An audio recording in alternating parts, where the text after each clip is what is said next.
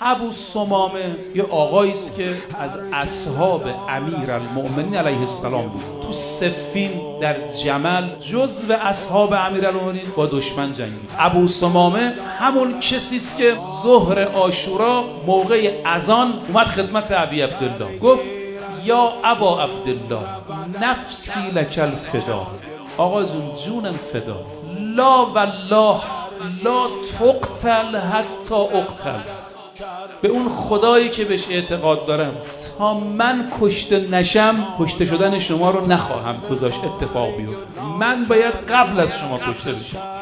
بعد از نماز ابو سمامه اجازه گرفت بره میدان. شروع کرد سه بیت شعار دادن. گفت ازا لآل المصطفى و بناته. علا حبس خیر الناس. سبت محمد عزاء لزهراء النبی و زوجها. خزانت علم الله من بعد احمد. عزاء لأهل الشرق و كلهم و حزنا علی حبس الحسین المسدد.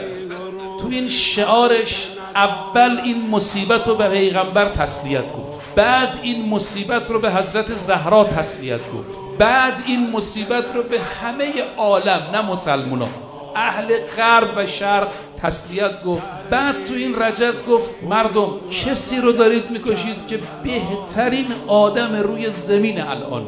یعنی ما از او دیگه بهتر رو زمین نداریم.